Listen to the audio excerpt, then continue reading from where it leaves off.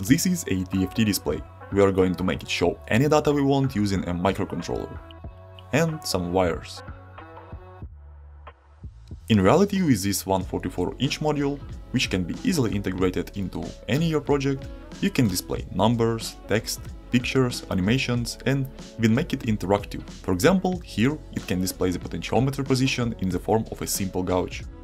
So in this video you will see how to connect this display to an STM32, set up the programming environment, and finally display anything you want, ending with some animations. Enjoy! This exact TFT LCD display has 16,384 pixels. Each has 3 subpixels, red, green and blue, which allows for different colors to be displayed. This results in a total number of LEDs inside the one display of more than 49,000 that should be individually controlled. However, as you can see, this STM32 controller here has only 64 pins, so there is an issue in this equation.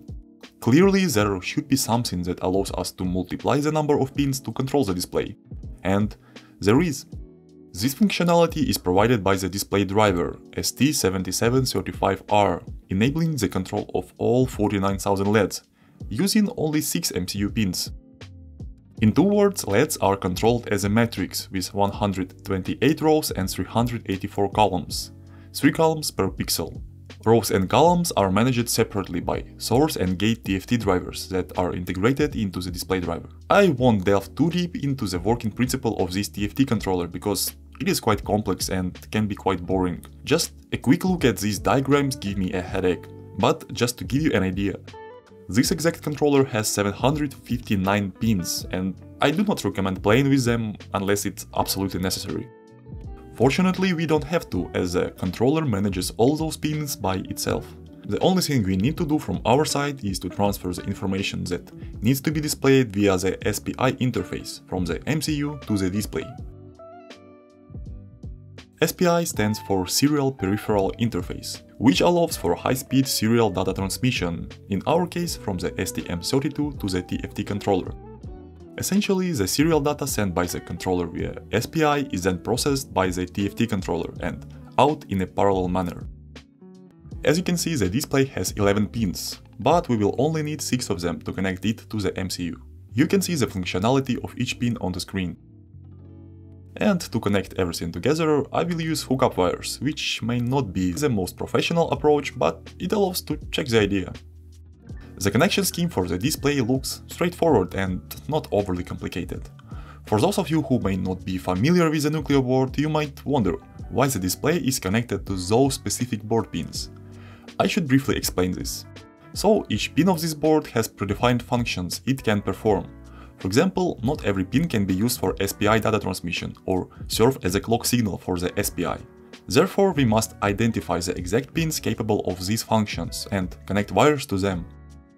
So, to find the functionality of each pin on the board, you can easily search for it on Google or follow the link in the description. Obviously that in the program code later on we will refer to these pins by their names to control them as needed. Now when we understand the theory behind and have everything connected, we are ready to program the MCU and display our first dataset. So to program the MCU there are several options available. Personally I use an external programmer called the ST-Link V2. Usually it is used when you have a MCU on its own, not embedded in a development board. However, if you have a development board similar to this one, you can simply connect it to your PC via a USB cable and program this device. Because this part of the board acts as a programmer already. Next, to write our beautiful piece of code, we also need STM-Cube IDE, which is a programming environment. It is absolutely free. Additionally, you will need to download the TFT controller library, which allows us to display anything we want. Obviously that without the library you would have to go through the entire datasheet and manually create those communication signals according to the protocol. That's a lot of work and life is too short for that, trust me. So just download the library using the link provided in the description. And finally, we are ready to start programming. First of all, we need to create a new project.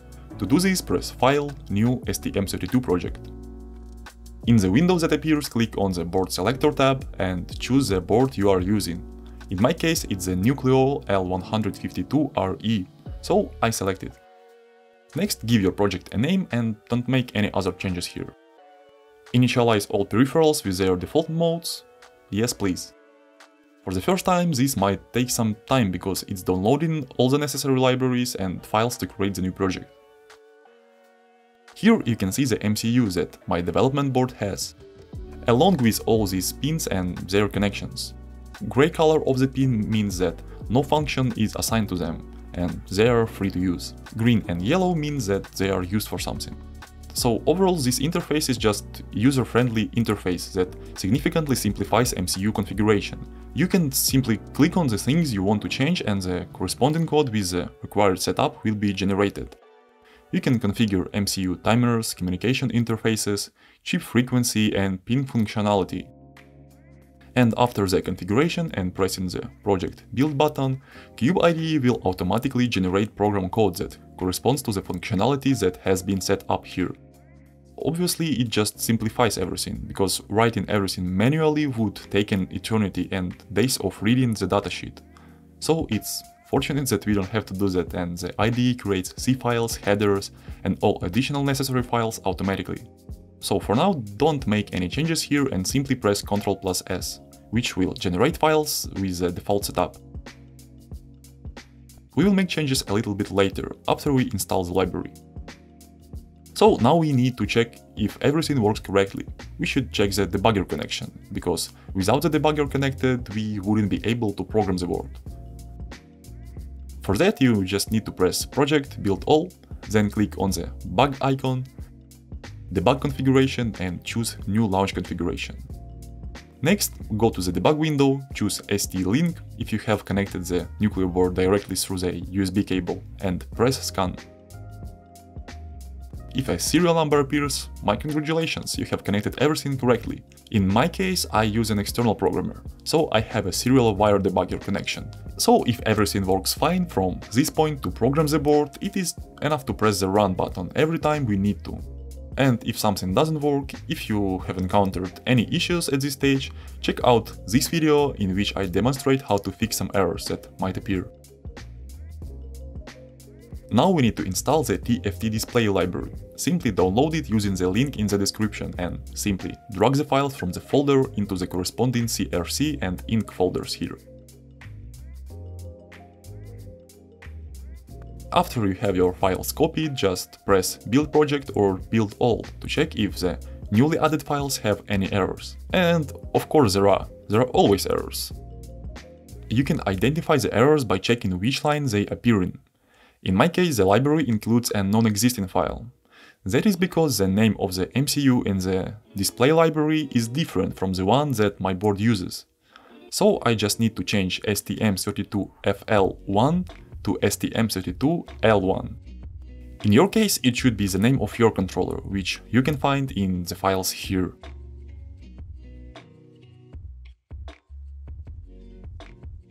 Now the second error, which is related to the SPI communication.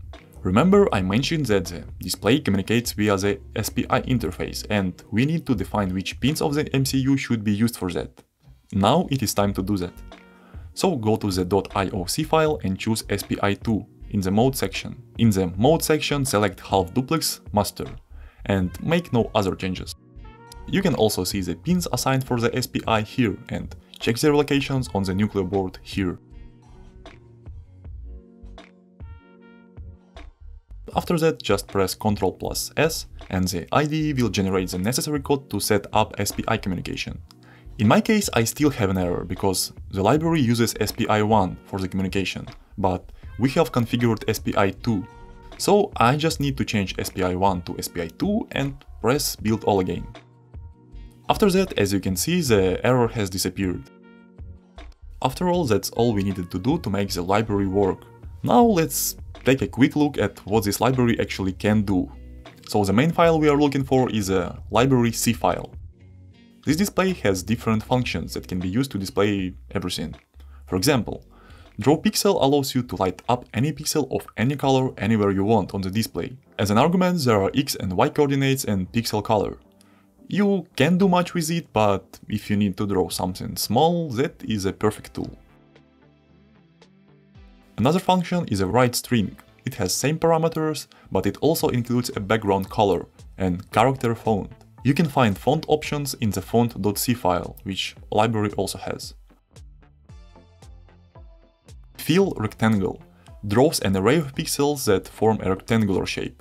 You can change its starting position, width, height and color. It is already a very powerful tool that allows you to draw different shapes and create some interesting stuff and even animations by changing the rectangle shape and coordinates. It might also be useful for some simple graphical data representation. Fill screen function fills the whole screen with a specific color. You can use it as an eraser. And finally, the coolest one, draw image. Basically, you can draw any picture with a display resolution and even animate it. I will show you how to do it in a second, just after showing where those functions should be written so we should write those functions in the main.c file. So open it. At the top write several includes. Include st7735.h, testimage.h and fonts.h. It is necessary to use all draw functions inside the main file. For example, let's draw a simple text. Write its coordinates, font you want to use, color and background color. And here we go. The same goes for other graphical primitives. But again, the most interesting thing is images. For example, let's display one image from the testimage.h file. To do that, write draw image, starting points, which in our case are 0, 0, picture resolution, and its name. You can find the name in the header file. Let's just have a quick look how picture is stored in the memory. So as you can see, the picture is stored in the form of an array with 16,384 elements, which basically corresponds to display pixels. And each element or pixel of the array is represented by 16 bits. So basically these 16 bits represent color intensity of each subpixel. 5 for red subpixel, 6 for green subpixel and 5 for blue. That makes the total number of colors that can be displayed by 1 pixel to more than 65,000 which is 2 to the power of 16. So as you can see there is a lot of bits, and for one picture the number of bits is over 262,000, and that's really a lot and only for one image.